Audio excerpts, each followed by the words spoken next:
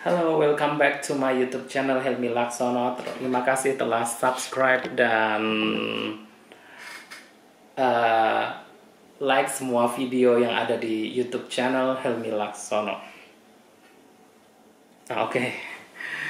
jadi tidak ada habis-habisnya saya mau ngomongin tentang Putri Aryani ya. Putri Aryani secara apa namanya? Karena ya memang dia itu masih muda tapi sudah uh, penuh prestasi seolah-olah prestasi itu yang mengejar dia bukan dia yang mengejar prestasi gitu. Dan memberikan banyak sekali inspirasi uh, ke semua orang bahwa kita itu jangan pernah menyerah kita itu selalu apa namanya uh, oke okay, boleh jatuh tapi langsung bangkit lagi seperti yang ingin dia ungkapkan di lagunya yang terbaru. Nah, ini uh, reaksi yang kedua ya, karena kan sebelumnya juga saya udah bikin reaksi video tentang lagu uh, Perfect Liar. Nah, cuman saya setelah mendengar lagu ini berkali-kali, ternyata uh, penuh makna, bahkan video movie-nya atau um, apa namanya um, music videonya itu uh, apa nama uh, memiliki uh, makna terselubung. Dia berada di lautan yang luas. Lautan yang luas itu kayak semacam harapan. Ya kan?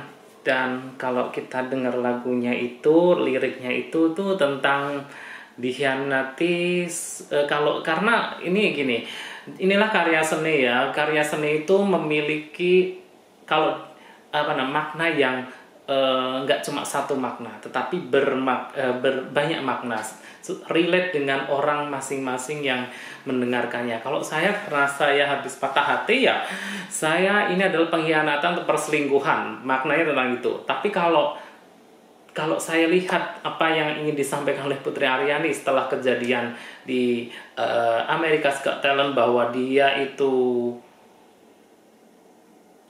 mungkin dia uh, ini ini per, persepsi saya ya. Mungkin dia merasa dikhianati karena dia udah dikasih golden buzzer golden buzzer ya.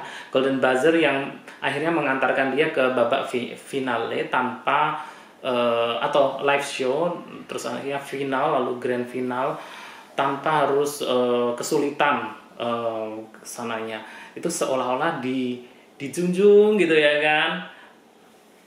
Uh, nah itu pun di di menurut saya terungkap dalam video klipnya si Putri Aryani ini saya lihat.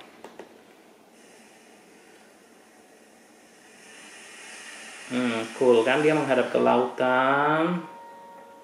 Perfect liar.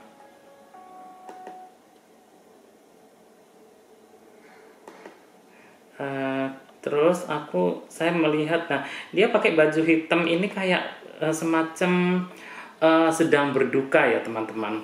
Kalau kita amati dia sedang berduka dia sedang tidak dalam suatu berduka dalam arti bersedih gitu ya.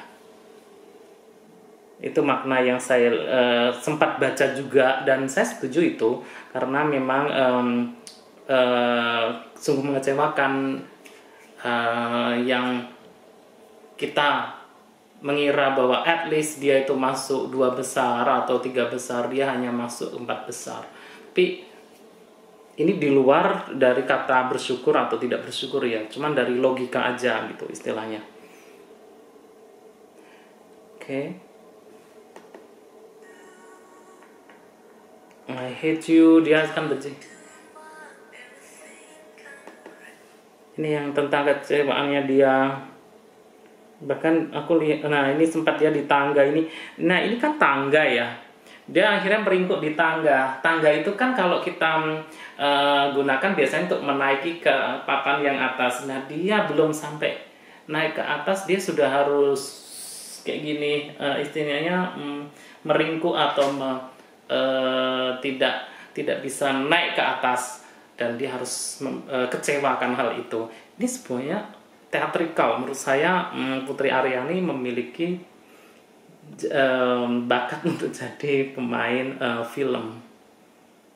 Acting keren sih. Sutradaranya keren.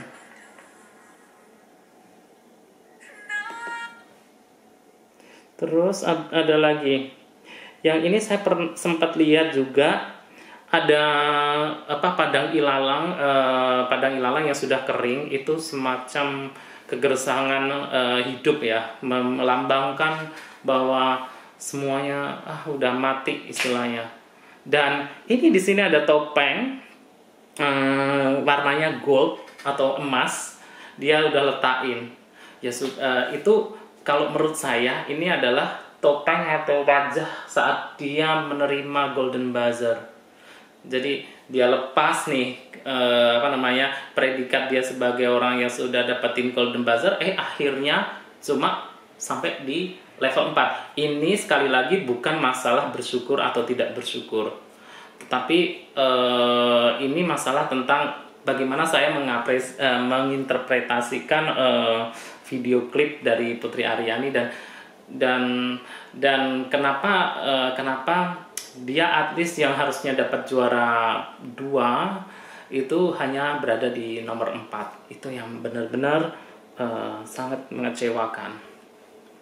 Makanya memberikan uh, harapan palsu istilahnya.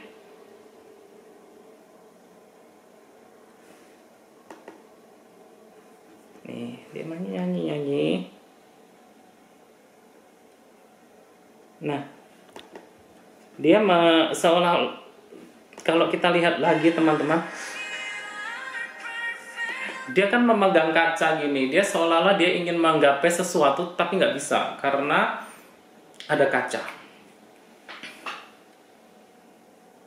Nah, ini disebutkan sesosok eh, laki-laki padahal ya. Jadi itulah karya seni. Dibikin seperti ini uh, dia ingin menyampaikan kekecewaannya terhadap America's Got Talent yang telah melakukan Perfect Liar. Tetapi diinterpretasikan uh, seolah-olah dia lagi uh, patah hati atau putus cinta atau gimana gitu. Padahal uh, kalau saya lihat uh, saya uh, amati ya Putri Aryani sebenarnya patah hati dalam tanda kutip ya kepada America's Got Talent ini. Karena setelah dari America's Got Talent ini saya lihat dia tidak terlalu uh, beberapa yang yang finalis itu mereka pada diwawancara dia kayaknya menolak untuk diwawancara atau gimana. Saya tapi saya nggak tahu ya. Tapi yang jelas um, menurut saya ya itu tadi dia ingin mengekspresikan itu tapi dialihkan ke perfect layer ke uh, putus cinta karena apa? Market untuk um, lagu terutama lagu-lagu galau itu memang lagi high in lagi apa namanya lagi di atas um, gitu loh. Gampang untuk diterima oleh masyarakat. Jadi uh, keren banget cerdas jenius ini Putri Aryani. Thank you very much. Sekarang saya jadi paham. Setelah me, me, mendengarkan lagu-lagunya eh, lagunya dia berkali-kali perfect line dan makin didengar makin enak nggak ada bosan-bosannya saya.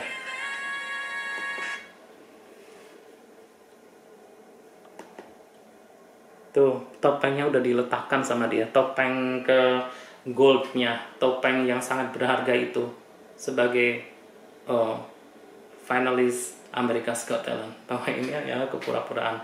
Kalau kita apa namanya uh, amati memang America's Got Talent ini kan sebenarnya bukan orang Amerika yang sedang mencari bakat. Yang benar sih Amerika, cuman nggak perlu mewakili seluruh orang Amerika. Ini disponsori oleh sebuah kasino uh, resort, resort yang besar, yang sangat besar dibentuk mengambil konsep uh, Timur Tengah yaitu Egypt atau Mesir kuno dan di dalamnya itu ada kasino, ada bar, ada bar bahkan ada bar striptease, ada teaternya di dalam uh, piramid itu itu di uh, Amerika sana Amerika Serikat. Uh, dan dan sebenarnya kan itu dibungkus dengan Amerika Serikat. Sebenarnya ya itu ya resort itulah yang yang sedang mencari uh, apa bakat-bakat atau orang-orang yang memiliki talenta untuk menandatangani kontrak selama 40 tahun uh, selama eh periode tertentu dengan hadiah 1 juta US dollar yang dijijikin selama 40 tahun kurang kurang lebih ya 40 tahun. Terus apa namanya? Dia akan tampil di uh, resort di salah satu gedung yang ada di dalam resort uh, itu. Nama resortnya adalah The Luxor. Jadi kalian bisa cek videonya The Luxer ya di Google kalian bisa lihat seperti apa The Luxer itu. Sebenarnya itu bukan America's Got Talent tapi uh, The Luxer Got Talent. Gitu. Tapi bagaimanapun juga kita harus mengakui bahwa uh, dengan dengan um, Putri ikut di America's Got Talent, dia akhirnya mendapatkan Golden Buzzer, akhirnya dia berada di posisi 4. Dia dibahas oleh beberapa media internasional, oleh eh, video-video uh, reaktor uh, Amerika, bahkan dunia. Ya, itu ada sedikit apa namanya uh, pengaruh eh istilah ada pengaruh lah buat dia untuk karirnya. Dan tidak apa-apa, uh, mungkin kita, eh, kecewa dengan hasil dari America's Got Talent, tetapi setelah itu kan ternyata berturut-turut Putri Aryani mendapatkan uh, banyak hal ya, banyak apa namanya hiburan dalam arti seperti misalnya dia menang Emmy Awards, dia diundang oleh salah satu uh, uh, apa namanya diundang di event salah satu merek jam uh, mewah Audemars Piguet. Nah, Audemars Piguet ini dulu Anggun Cipta Sasmi pernah jadi salah satu ambasadornya. Dan itu memang keren banget Audemars Piguet itu uh, salah satu jam uh, luxury. Yang ketiga dia uh, duet sama Alan Walker waktu di TikTok Award. Terus habis itu dia mendapatkan penghargaan dari Kemenpora, dia tampil di berbagai macam offline. Eh kok offline maksudnya? Off air sorry. Dan dia yang terakhir itu adalah saya e, mendapatkan kabar bahwa dia e, sedang ada project dengan um, Alan Walker yaitu uh, Alan Walker kan memiliki project album nih. Nah di tahun 2024 nanti Putri Aryani akan uh, apa namanya uh, akan mengisi pro, uh, album itu. Akan menjadi salah satu penyanyi di dalam album itu. Dan ini kemarin dia ke Norwegia itu ya untuk proses rekaman proses mungkin proses video ya. Kita kurang jelas karena Putri Aryani memang sedikit membicarakan ini. Tapi dia sudah memberikan clue-cluenya kayak semacam dia main-main di sini saya saya komen dan di ah, kakak bisa aja gitu dia bilang. Saya sempat komen di sini. Dan ya memang keren banget. Jadi banyak sekali uh, berkat yang dia terima. Istilahnya ya memang dia kecewa tapi uh, akhirnya kan uh, make uh, apa segala kejadian itu akan membuat dia menjadi uh, love herself better gitu akan menjadi uh, ya pada kenyataannya kan memang uh, akan menjadikan dia men, um, lebih mencintai dirinya sendiri gitu loh.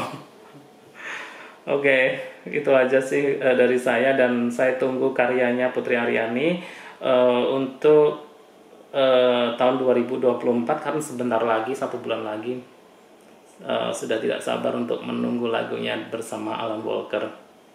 Gitu aja ya. Terima kasih telah um, subscribe dan jangan lupa untuk komen dan like video ini. Terima kasih. Sampai jumpa lagi. Bye.